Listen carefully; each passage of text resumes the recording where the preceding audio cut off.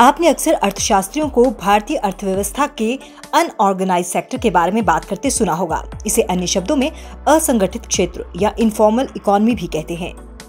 तो आइए आज आपको भारतीय अर्थव्यवस्था में इस अनऑर्गेनाइज सेक्टर के योगदान के बारे में बताते हैं। सबसे पहले तो ये जान लें कि ये अनऑर्गेनाइज सेक्टर होता क्या है।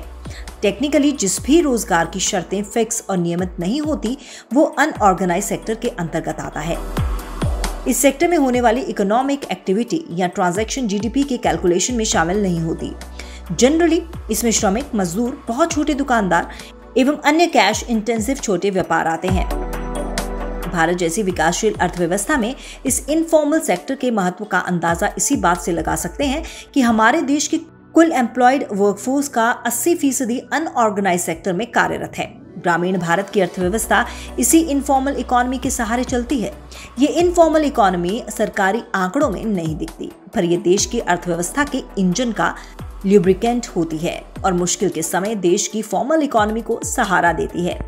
अगर भारत सन 2008 की विश्वव्यापी मंदी से बहुत जल्दी उभर पाया तो इसका श्रेय काफ़ी हद तक भारत के अनऑर्गेनाइज सेक्टर को जाता है।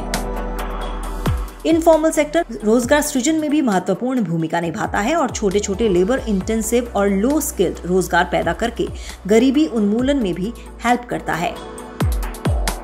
हमारे देश की फॉर्मल इकोनॉमी की मजबूती के लिए देश की इनफॉर्मल इकोनॉमी की सेहत अच्छी होना ज़रूरी है। इसको हम एक उदाहरण से और अच्छे से समझते हैं। पार्ले जी एक अनऑर्गेनाइज सेक्टर की कंपनी है। लेकिन इसके मशहूर पार्ले जी बिस्किट के मेन उपभोक्ता इसी इनफॉर्मल सेक्टर से आते हैं।